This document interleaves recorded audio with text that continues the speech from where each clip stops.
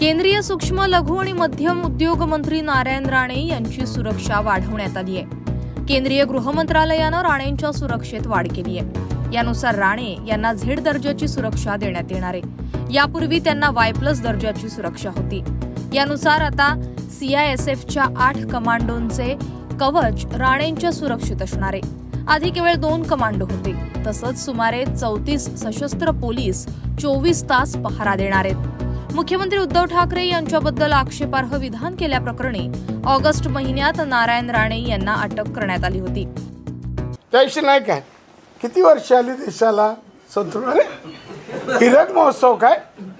मी असतो तर कानाखाली चढवली. नाशिकमध्ये गुन्हा दाखल करून त्यांना रत्नागिरी जिल्ह्यातील संगमेश्वर मधील गोळवली येथून अटक करण्यात आली होती. राणेंना महाड न्यायालयात हजर करण्यात आल्यानंतर त्यांना जामीन मंजूर करण्यात आला होता. मात्र या दरम्यान युवा सेनेच्या वतीनं राज्यात ठिकठिकाणी आंदोलनं करण्यात आली होती.